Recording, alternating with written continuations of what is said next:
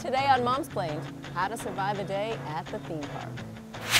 You've mentally prepared yourself for wedgies and you've said goodnight to mascara. So here's how to make the most of it. Hey, if it's got lazy in the title, I'm so in. Step one, prevent the tantrum. Luckily, theme parks like Busch Gardens have rides for everyone. But make sure you measure your kids' head ahead of time and bring them to the rides that are right for them. Because no one's got time for the I'm too short drama meltdown. Step two, know the deals. Do your research, people, before coming to the park so you're up on all the good deals the park has to offer. Skipping the line, all day dining. I mean, why would you do the park any other way? Face it, mama don't wait in line, and mama needs her snacks.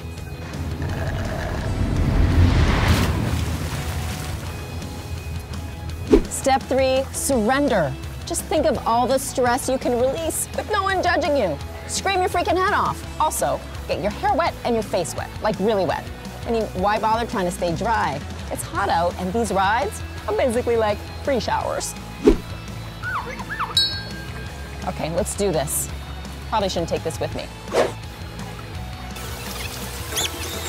Step four, insta that ish. Listen, theme parks bring out the kid in us all, so don't fight it. Go on that roller coaster and take the goofy, embarrassing photo. Because they're kind of awesome.